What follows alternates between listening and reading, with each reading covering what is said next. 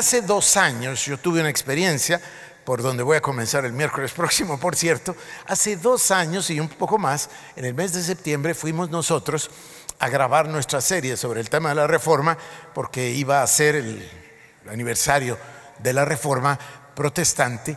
Y entonces eh, fui y llegué a la ciudad de Wittenberg y ya les conté la historia, no voy a hacerlo muy largo, pero me quedé en un hotel sin darme cuenta, sin percatarme, porque llegué muy tarde en la noche. A la mañana siguiente amaneció, y no, no amaneció, perdón, estaba todavía oscuro. Yo me acerqué a la ventana porque yo estaba despierto por el cambio de horas, y entonces abrí la ventana para ver si había amanecido. Me percaté que no había amanecido, pero cuando me fijé enfrente de mí, estaba la, puerta de la catedral de la iglesia de Wittenberg, eh, no de la catedral de la iglesia, no, perdón, la catedral del palacio de Wittenberg, que es donde Lutero clavó las tesis. Así que rápido me vestí, me bajé y me fui a orar.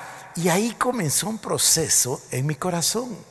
Y el proceso tuvo que ver precisamente con esta pregunta tan difícil.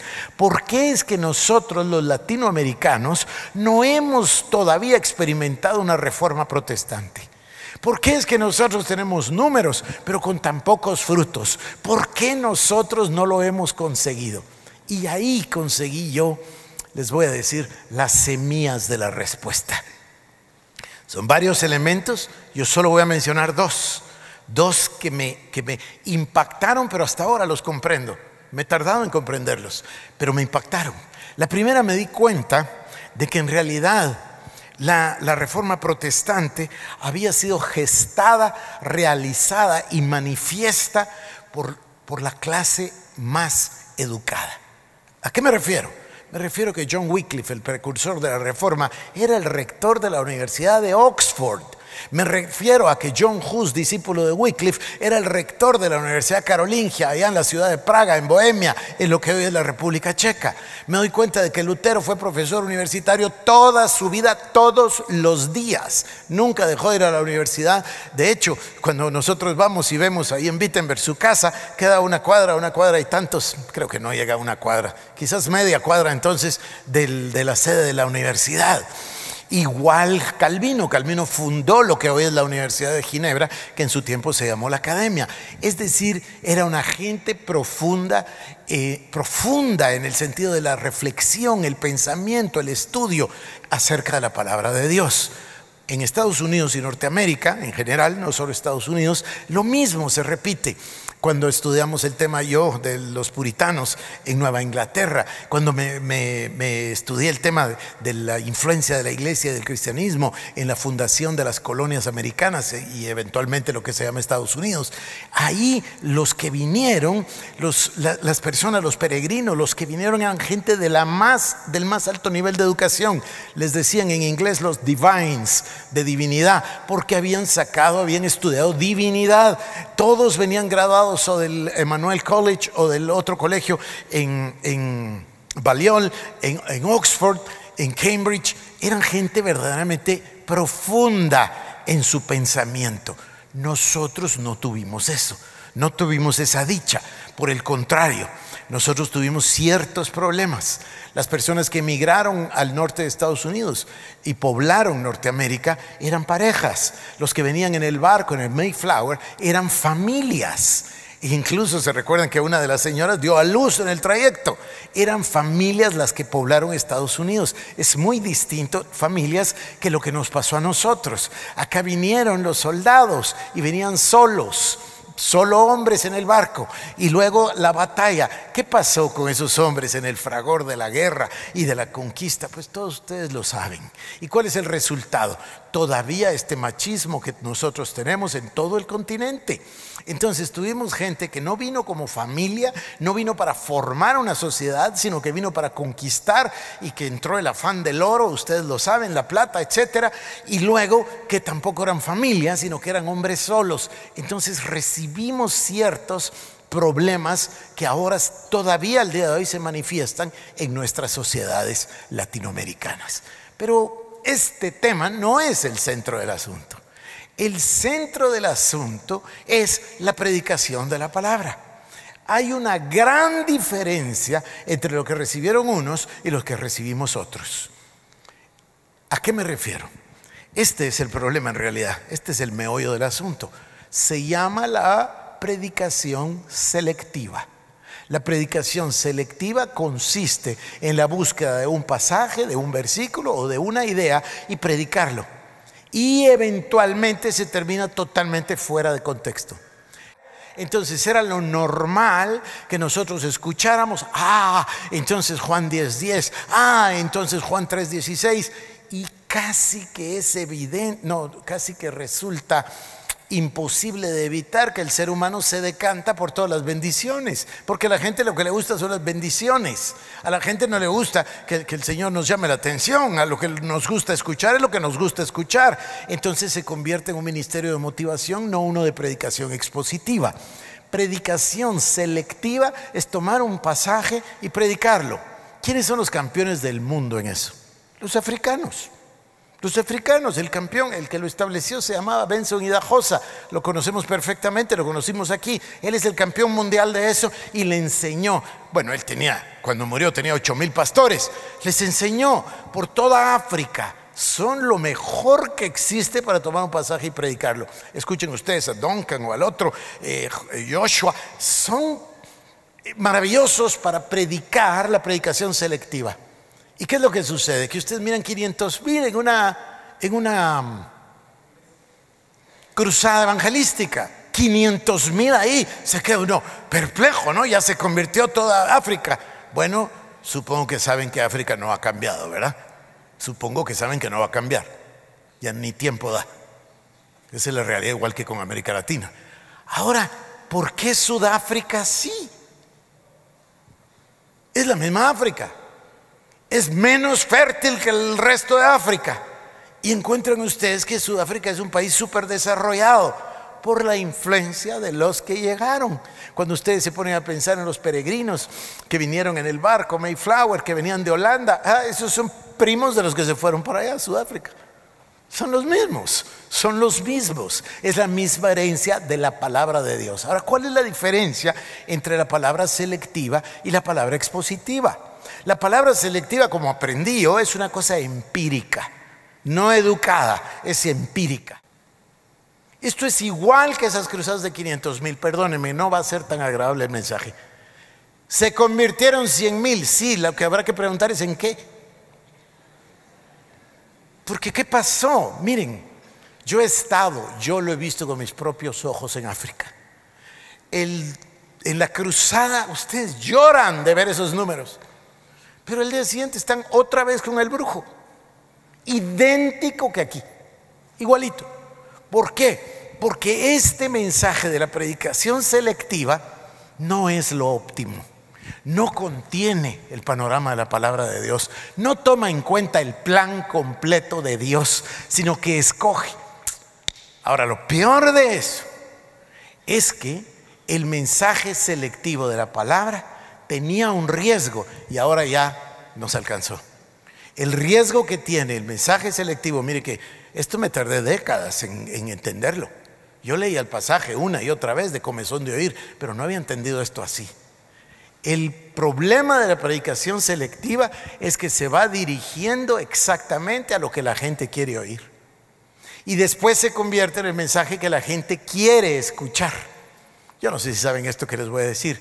El presidente Clinton fue el primer presidente de la historia de Estados Unidos que reconoció públicamente, que debe haber habido otros, pero él lo reconoció públicamente, que había gobernado exclusivamente por las encuestas.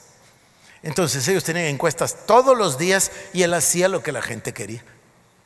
La popularidad de él, aún el día de hoy, es increíble pero no hacen lo que se necesita, sino hacen lo que la gente quiere. Ese es el vicio de la predicación selectiva. La predicación selectiva se convierte en algo que nos va, eh, lejos de bendecir, nos va en realidad a llevar problemas. A ver, en palabras de Derek Prince, muchos miembros pero pocos discípulos. Derek Prince con ese modo que tiene, yo se los comenté el otro día, dice, ahora está de moda, dice, bueno, murió hace años, así que esta predica debe ser de hace 20 años. Dice, está de moda, las iglesias grandes son muy importantes, entonces uno le dice, cuénteme cuántos miembros tiene, dice, tengo 5 mil. Entonces yo, dice él, con mi humor característico, le pregunto, ¿y cuántos uh, de esos miembros son cristianos? ¿Cuántos discípulos tiene? Dice, yo calculo, dice el que si hay 5 mil miembros debe haber unos 50 discípulos. Porque es una gran diferencia entre ser miembro y ser discípulo. ¿Cuál es la gran diferencia? Venga conmigo Santiago capítulo número 2 y voy a leer verso 14 en adelante. Dice, Santiago 2, 14. Hermanos míos, ¿de qué aprovechará si alguno dice que tiene fe y no tiene obras? ¿Podrá la fe salvarle? Y si un hermano o una hermana están desnudos y tienen necesidad de mantenimiento de cada día y alguno de vosotros les dice, id en paz, calentados y saciados, pero no les das las cosas que son necesarias para el cuerpo, ¿de qué aprovecha? Así también la fe, si no tiene obras, es muerta en sí mismo. Pero alguno dirá, tú tienes fe y yo tengo obras. Muéstrame tu fe sin tus obras y yo te mostraré mi fe por mis obras. Tú crees que Dios es uno, bien haces. También los demonios creen. Mas quieres saber, hombre vano, que la fe sin obras es muerta. Entonces, en la predicación eh, eh, selectiva, el mensaje es un mensaje duro contra la religión. No es por obras, no es por obras, no es por obras, es por fe. Es correcto. Absolutamente correcto, solo que no dice todo lo demás. ¿Es por obras que se es salvo? No, es por fe. ¿Es por obras que vive el salvo? Eso sí, acabamos de leerlo. Acabamos de leerlo. Muéstrame tu fe sin tus obras. Tu fe sin obras es muerta. No hay fe si no hay obras. No son para ser salvo, son para vivir delante de Dios para dar testimonio, árboles con fruto o árboles sin fruto. Mateo capítulo 12, verso 33. O haced el árbol bueno y su fruto bueno, o haced el árbol malo y su fruto malo, porque por el fruto se conoce el árbol. Juan 15, 5. Yo soy la vid y vosotros los pámpanos. El que permanece en mí y yo en él, este lleva mucho fruto, porque separados de mí nada podéis hacer. Este es el tema. Necesitamos nosotros en la iglesia creyentes que lleven fruto. El fruto se va a producir si, permanecemos en la vid. Él es la vid, nosotros los pámpanos. El fruto se va a dar si somos discípulos. ¿Quiénes son los discípulos? Los que permanecen en Él y permanecen en la palabra de Dios. La palabra de Dios es la que nos da vida. La palabra de Dios es la que nos alimenta. Entonces, ¿estoy yo en contra de tener miembros? No. Estoy en contra de lo que pasó en Guatemala, que les voy a explicar qué pasó en Guatemala. Se los voy a explicar y me he tardado tanto en llegar ahí. Guatemala tuvo la venida del Evangelio hace 138 años. Y en los primeros 100 años, creció menos del 2% de la población. Eso es lo que llamamos la iglesia tradicional, que se repartió el país, la iglesia presbiteriana, la bautista, la centroamericana, nazarena, etcétera, ¿no? y se fueron por todo el país y en 100 años llegaron un poco menos del 2% de la población. Después vino en los años 70 el pentecostalismo y este pentecostalismo reclutó a una serie de jóvenes empíricos, 100% empíricos como yo, con ciertos dones y capacidades, pero cero conocimiento profundo, cero. Yo me la llevo de autodidacta y me he pasado 40 años estudiando, pero no fui al instituto bíblico. Yo no sabía como David.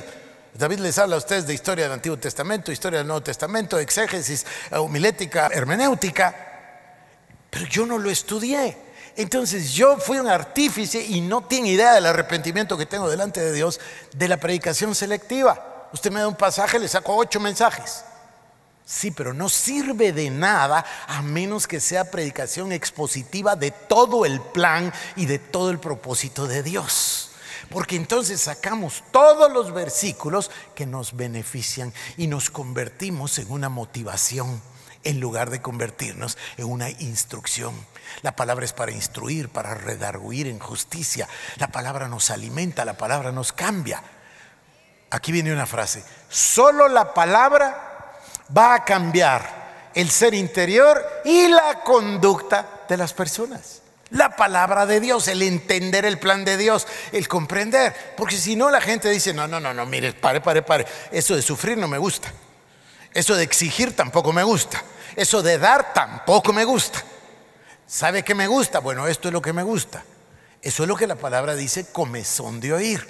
Entonces se empieza a predicar para los que quieren oír. Cuando yo vine al Señor al principio de la década de los 80, porque yo fui salvo el 1 de diciembre del año 79, en el 80 el mensaje era la palabra de fe. Sus expositores eran el pastor Austin, Kenneth Hagen, Lester Sumrall, eh, etcétera, etcétera, etcétera, Norval Hayes. Y esto se llamaba la palabra de fe y se predicaba la palabra de fe. Fantástico, maravilloso, glorioso. La fe produce milagros, la fe produce salvación. Sí, pero solo fe. No, era malo oír que Dios te quisiera eh, castigar o que Dios te quisiera reprender. No, no, no, no, no, es la fe. Entonces, sin querer se convirtió en selectivo.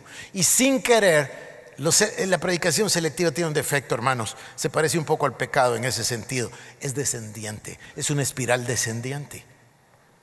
Ay, va a sonar horroroso, ¿verdad? Pero tiende a la degeneración. No tiende a superar, tiende a bajar. ¿Por qué? Porque tiene que hacerlo todos los días más fácil. ¿Y por qué no tiene que ser más fácil? Para tener más números.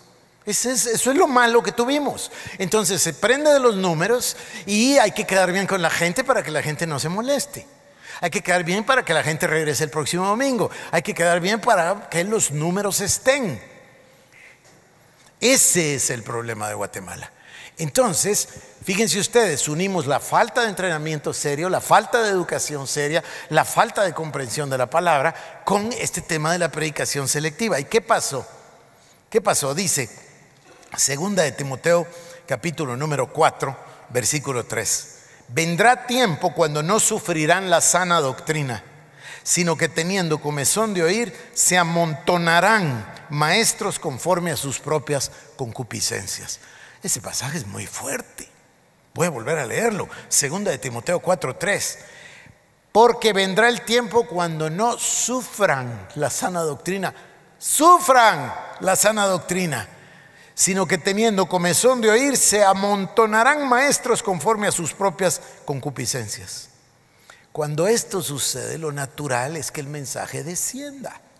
Y del mensaje de fe fuimos parar al de prosperidad. Pero el mensaje de prosperidad se convirtió en el culto a la prosperidad. El tema del culto a la prosperidad fue a parar al culto a la personalidad. Y ahora ya no es ni eso, ahora es entretenimiento. Eso es lo que manda el día de hoy entretenimiento. La gente lo que quiere es igualar. Mire, voy, a contarles algo de un libro que salió hace muchísimos años, 1992. Salió un libro que se llamaba Dress for Success. El libro era un libro secular que se llamaba Dress for Success y quería decir vístase para tener éxito. Entonces el libro en realidad no trataba del vestido, el libro trataba un contexto y decía, miren, ahora cualquier orador no importa qué orador, no importa si es religioso, no importa si es predicador, no importa si es maestro, no importa si es eh, un, eh, eh, de los que hablan en público. Dice, ahora ya hay otra regla, dice. Hay otro estándar, se llama CNN. Estoy hablándoles de cuando nació, cuando salió CNN, porque entonces salía un señor hiperprofesional en CNN que hablaba hiperprofesional y los otros quedaron, ahora hay que ponerse hay que subir el estándar. A eso se refería ese, ese, ese libro de Dress for Success. Bueno, es lo mismo. Ahora es entretenimiento, ahora todo es entretenimiento. Hasta la información. ¿Cómo se llama la información? ¿Cómo le dicen ahora? Busque usted ahí en las redes. Infotainment. Infoentretenimiento. ¿Y cómo se llama la educación? Edutainment. Sí, los gringos siempre juntan las palabras para hacer un significado. O sea, ahora ya no es educación, ahora es entretenimiento educativo. Ahora es entretenimiento. Eso no es la iglesia, queridos hermanos. La iglesia va en ruta directa a un paredón enorme que se llama juicio de Dios. Y no se da cuenta. Y cuando está hablando Dios de reparar, es de reparar, es de enmendar, es de cambiar el camino. La tendencia descendiente debe frenar. No puede ser que nosotros, mire, este culto al éxito, este culto a la prosperidad, todo esto, 1 Juan 2, 16 y 17, no améis al mundo ni las cosas que hay en el mundo. Si alguno ama al mundo, el amor del Padre no está en él. Porque todo lo que hay en el mundo, los deseos de la carne, los deseos de los ojos y la vanagloria de la vida, no proviene del Padre, sino del mundo. Y el mundo pasa y sus deseos, pero el que hace la voluntad de Dios permanece para siempre. Es la palabra lo único, queridos hermanos, que realmente va a cambiar nuestras vidas. Estoy a punto de mostrárselos. Hay una gran diferencia entre ser miembros y ser asistentes o discípulos. Hay una gran diferencia entre ser creyentes o haber confesado a Cristo y verdaderamente vivir como creyentes. Hechos 3, 19 al 21 ha sido un pasaje que nos ha servido de marco aquí en, los, en las semanas pasadas y en estos últimos días. Hechos 3, 19 al 21 dice, así que arrepentíos y convertíos para que sean borrados vuestros pecados y vengan de la presencia del Señor tiempos de refrigerio. Arrepentíos y convertíos para que sean borrados vuestros pecados y vengan de, la, presencia del Señor tiempos de refrigerio, que es lo que estamos esperando, que es el avivamiento. Y que entonces Cristo, a quien el cielo detiene, hasta la restauración de todas las cosas, entonces venga. Entonces, vamos a tener una restauración de todas las cosas, sí, esa es la maravilla de reparar. Pero antes hay que arrepentirse y convertirse, dice la palabra. Arrepentidos y convertidos para que sean borrados vuestros pecados. Mire, Edwin Orr era un historiador fantástico. Yo pienso, igual que piensan muchos, que lo mejor que hubo en el tema de historia de avivamientos. Y el 21 de abril de 1987 predicó un mensaje por la noche que se volvió tan famoso el mensaje por lo bueno del mensaje y porque al día siguiente él se fue con el Señor. Y en el mensaje él cita a William Castles.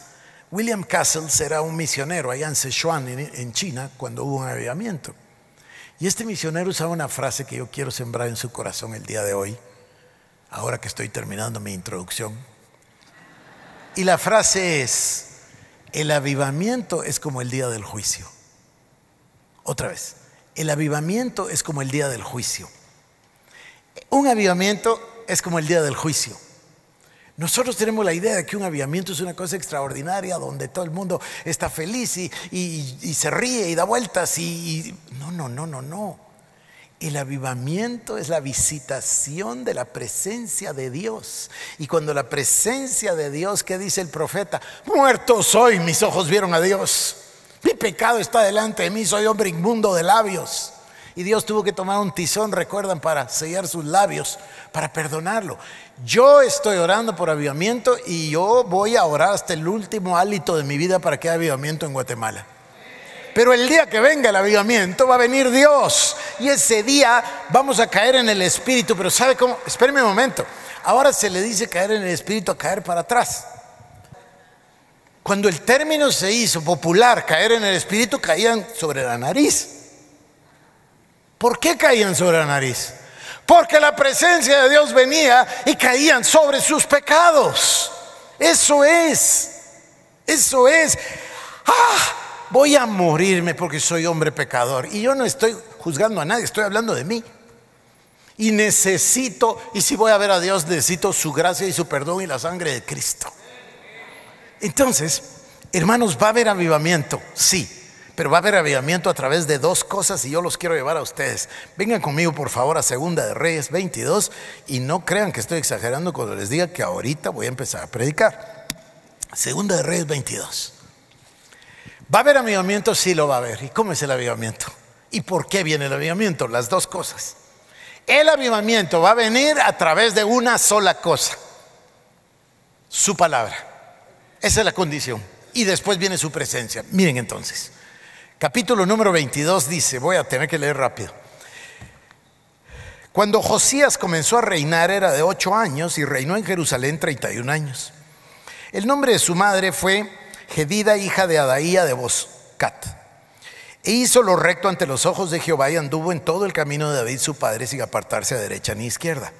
A los 18 años del rey Josías envió el rey a Safán, hijo de Asalia, hijo de Mesulam, escriba a la casa de Jehová, diciendo, ve al sumo sacerdote, escuche por favor, ve al sumo sacerdote Hilcías y dile que recoja el dinero que han traído a la casa de Jehová, que han recogido del pueblo los guardianes de la puerta y que lo ponga en manos de los que hacen la obra, que tienen a su cargo el arreglo de la casa de Jehová, y que lo entreguen a los que hacen la obra de la casa de Jehová para reparar las grietas de la casa, a los carpinteros, maestros y albañiles para comprar madera y piedra de cantería para reparar la casa.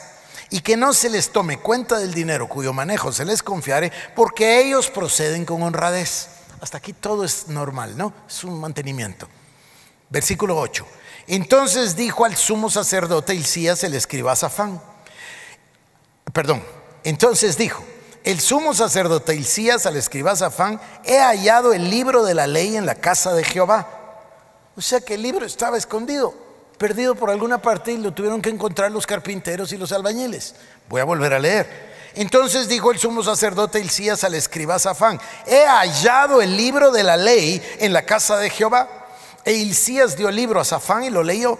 Y viniendo luego el escriba Safán al rey, dio cuenta al rey y dijo, tus siervos han recogido el dinero que se halló en el templo y lo han entregado en poder de los que hacen la obra, que tienen a su cargo el arreglo de la casa de Jehová. Asimismo el escriba Safán declaró al rey diciendo, el sacerdote Hilcías me ha dado un libro y lo llamó Safán delante del rey. Y cuando el rey hubo, dado las hubo oído las palabras del libro de la ley, rasgó sus vestidos. Luego el rey dio orden al sacerdote Hilcías Escúchenme por favor. El libro estaba tan lejos que estaba escondido y perdido. El libro de la ley. En el templo, en la casa de Jehová. Pero ya estaba tan escondido que ya nadie tenía memoria de él. Entonces, oh sorpresa, encontraron el libro de la ley y lo trajeron. Entonces le dijeron al rey, resulta que ahí hay un libro. Y se lo leyeron y él lo oyó. Ahora recuerden que acabamos de leer que Josías hizo lo bueno delante de Dios. Entonces tenía atención porque los reyes anteriores y posteriores, dice, hicieron lo malo delante de Dios. Pero él no, él hizo lo bueno. Entonces tiene oído y dice, le leyeron el libro y cuando lo oyó rasgó sus vestidos. ¿Qué quiere decir rasgó sus vestidos? Entendió inmediatamente. Voy a seguir.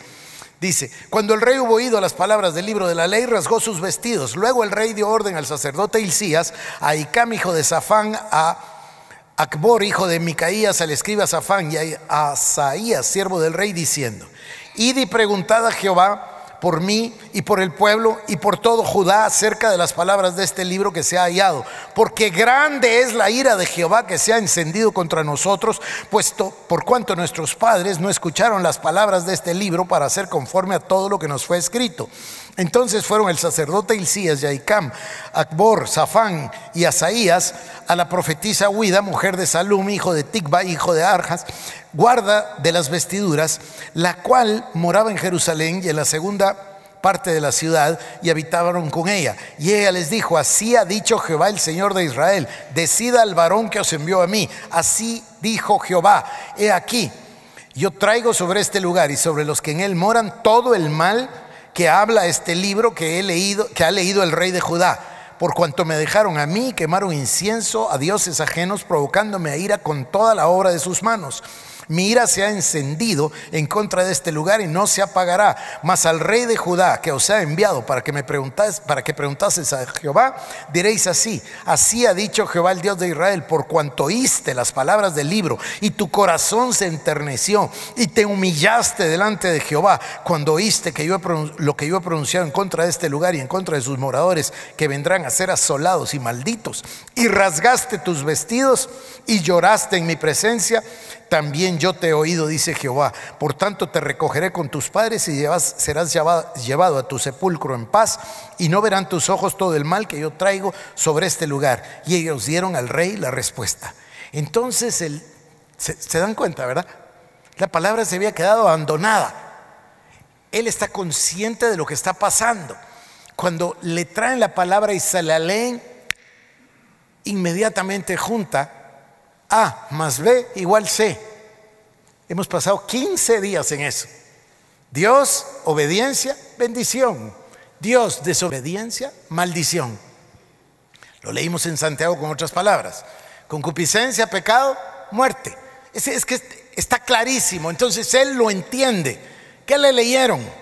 Le leyeron Deuteronomio 28. Del 1 al 15 la bendición y del 15 al 68 la maldición para los que sirven a otros dioses. Es lo que le leyeron, no es difícil imaginarlo, voy a continuar. Capítulo 23. Entonces el rey mandó reunir con él todos los ancianos de Judá y de Jerusalén y subió el rey a la casa de Jehová con todos los varones de Judá y con todos los moradores de Jerusalén, con los sacerdotes y profetas y todo el pueblo, desde el más chico hasta el más grande, y leyó oyéndolo ellos todas las palabras del libro del pacto que había sido hallado en la casa de Jehová. Y poniéndose el pie el rey, perdón, en pie junto a la columna, hizo pacto delante de Jehová de que irían en pos de Jehová y guardarían sus mandamientos, sus testimonios y sus estatutos con todo el corazón y con todo el alma y que cumplirían las palabras del pacto que estaba escrito en aquel libro. Y todo el pueblo confirmó el pacto. Esto es Hechos 3, 19 al 21. Arrepentidos y convertidos para que sean borrados vuestros pecados, para que vengan de la presencia del Señor tiempos de refrigerio. Esto es lo que antecede al avivamiento. Esto es lo que antecede a la bendición de Dios. El realizar que las cosas estaban mal y repararlas, enmendar. ¿Dónde voy? Versículo 4. Entonces mandó al sumo sacerdote Isías y a los sacerdotes de segundo orden, quiero que pongan atención a esto, es impresionante, y a los guardianes de la puerta, escuchen, que sacasen del templo de Jehová todos los utensilios que habían sido hechos para Baal, para Acera y para todo el ejército de los cielos y los quemó fuera de Jerusalén en el campo de Cedrón e hizo llevar las cenizas de ellos a Betel. Y quitó a los sacerdotes idólatras que habían puesto los reyes de Judá para que quemasen incienso en los lugares altos, en las ciudades de Jehová y en los alrededores de Jerusalén. Y asimismo a los que quemaban incienso a Baal, al sol y a la luna y a los signos del zodíaco y a todo el ejército de los cielos. Hizo también sacar la imagen de acera de fuera de la casa de Jehová fuera de Jerusalén al valle del Cedrón y la quemó en el valle del Cedrón y la convirtió en polvo y echó el polvo sobre los sepulcros de los hijos del pueblo. Además derribó los lugares de prostitución idolátrica que estaban en la casa de Jehová, en los cuales habían tejían las mujeres tiendas para acera e hizo venir todos los sacerdotes de la ciudad de Judá y proclamó los lugares altos donde los sacerdotes quemaban incienso desde Jeba hasta Beerseba y derribó los lugares perdón, los altares de las puertas que estaban en la entrada de la puerta de Josué, gobernador de la ciudad, que estaban a mano izquierda en la puerta de la ciudad. Pero los sacerdotes de los lugares altos no subían al altar de Jehová en Jerusalén, sino que comían panes sin levadura entre sus hermanos. Asimismo profanó a Tofet, que está en el valle del hijo de Inón, para que ninguno pasase a su hijo o a su hija eh, por fuego a Moloc. Quitó también los caballos que los reyes de Judá habían dedicado al sol a la entrada del templo de Jehová junto a la cámara de Natán Meleque, eunuco, el cual tenía a su cargo los ejidos y quemó al fuego los carros del sol. Derribó además el rey los altares que estaban sobre la azotea de la sala de Acaz que los reyes de Judá habían hecho y los altares que habían hecho Manasés en los dos atrios de la casa de Jehová y de ahí corrió y arrojó el polvo al arroyo del Cedrón. Asimismo profanó el rey los lugares altos que estaban delante de Jerusalén a la mano derecha del monte de la destrucción, los cuales Salomón, rey de Israel, había edificado a Astoret, ídolo abominable de los sidonios, a Chemos, ídolo abominable de Moab, y a Milcom, ídolo abominable de los hijos de Amón. Salomón y quebró las estatuas y derribó las imágenes de acera y llenó el lugar de ellos de huesos de hombres. Igualmente el altar que estaba en Betel y el lugar alto que había hecho Jeroboam hijo de Nabat, el que hizo pecar a Israel, aquel altar y el altar alto y el lugar alto destruyó y lo quemó y lo hizo polvo y lo puso y le puso fuego la imagen de acera. Y se volvió Josías y viendo los sepulcros que estaban en el monte, envió y sacó los huesos de los sepulcros y los quemó sobre el altar para contaminarlo conforme a la palabra de Jehová que había profetizado el varón de Dios, el cual había anunciado esto.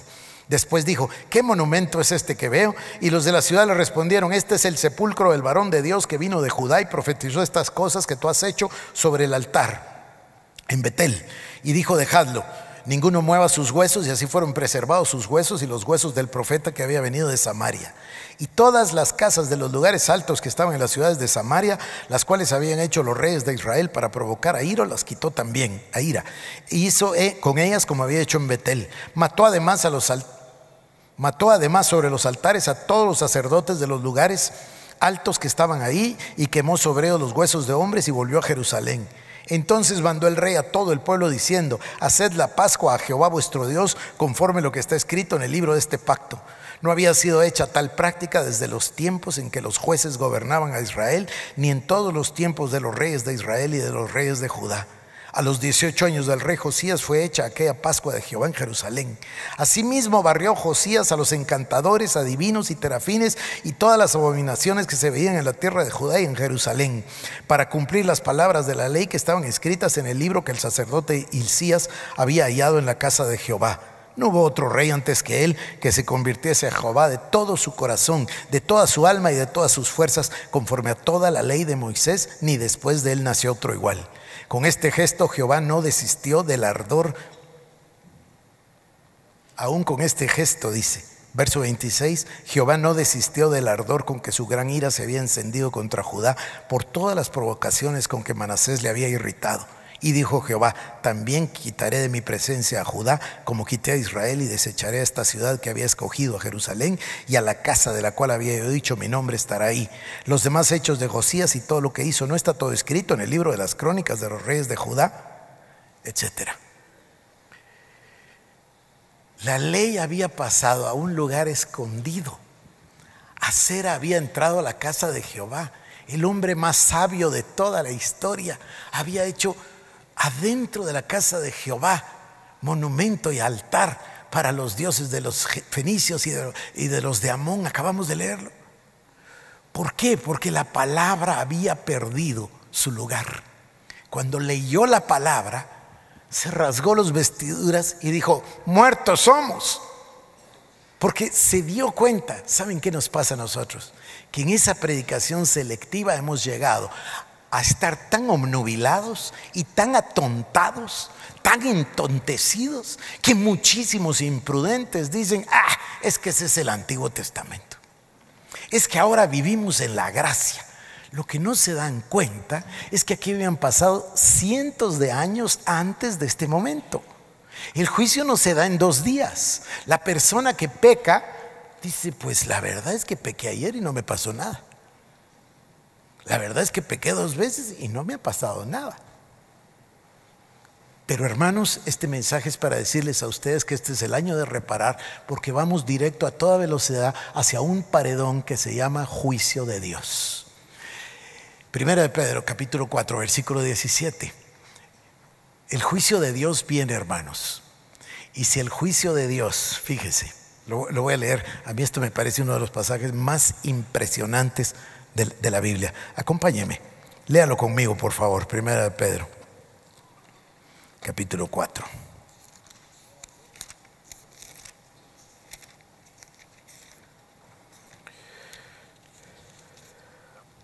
Porque es tiempo de que el juicio de Dios comience por la casa de Dios. Y si primero comienza por nosotros, ¿cuál será el fin de aquellos que no conocen, que no obedecen al Evangelio? El juicio está a punto de comenzar, pero va a comenzar adentro de la casa del Señor. Dice, el juicio está a punto de comenzar y comenzará por la casa de Dios.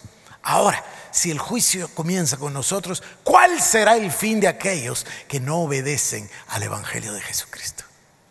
Eso está por venir. Y en la misericordia divina nos está hablando como le habló a Josías pero está pidiendo una respuesta, una reacción. ¿Cuál es la reacción? ¿Va a ser la reacción suya como la reacción de Josías? ¿Va usted a decir, Señor Dios Todopoderoso, rasgo mis vestidos y caigo al piso aquí para pedirte perdón, para hacer pacto contigo? Me voy a parar ahí en la puerta, Señor, para que todo el pueblo me mire. No el pueblo, para que mi familia me vea, para que mis hijos me vean. Quiero redimir a mi familia, quiero redimir a mi descendencia. Quiero que seamos libres del juicio porque abandonamos tu palabra, la dejamos a un lado, pero tú en tu misericordia nos estás llamando de vuelta, nos estás diciendo que es el tiempo de la reparación. Señor, yo quiero reparar mi vida. Yo les decía a ustedes, no podemos hacer nada con todo el planeta, no podemos hacer nada con toda la tierra, no podemos hacer nada con los conflictos de las guerras en Irak y en Irán. Lo único que podemos hacer es tomar un absoluto dominio, 100% de autoridad y control sobre este pedazo de tierra que somos cada uno de nosotros La obligación es este pedazo, soy yo delante de Dios. El Señor espera una reacción. El Señor espera que nos arrepintamos y que nos convirtamos para que sean borrados nuestros pecados, para que vengan de la presencia del Señor tiempos de refrigerio y el avivamiento se manifieste. Y Dios dice que es un tiempo de reparación, un tiempo de ordenar la casa. Y las personas que van a venir en el avivamiento y que van a ser cientos de millares, van a ser creyentes, que vienen de verdad ser creyentes, arrepentirse de haber pasado el tiempo y perdido el tiempo oyendo lo que querían oír, en lugar de atender a la voz de Dios, en lugar de atender a la palabra de Dios. Dios Todopoderoso. La pregunta es, la pregunta es, ¿qué vamos a contestar? ¿Qué vamos a responder? Porque Dios está hablándonos. Yo lo veo exactamente el mismo caso. La palabra se fue quedando, quedando, quedando. Que se predica la palabra, sí, selectivamente. Que se predica lo que gusta. Que se predica lo que atrae. No la palabra, o como diría Pablo mejor, con Pablo, el consejo completo de la palabra de Dios. Eso es lo que dice Pablo. Y por eso lo dice de esa manera. No rehuí de predicaros el consejo completo de la palabra de Dios. ¿Por qué dice no rehuí? Por la misma razón que dice sufrir la sana doctrina. No es tan agradable. Yo no sé si han leído los evangelios últimamente, pero el mensaje del Señor Jesucristo no es agradable.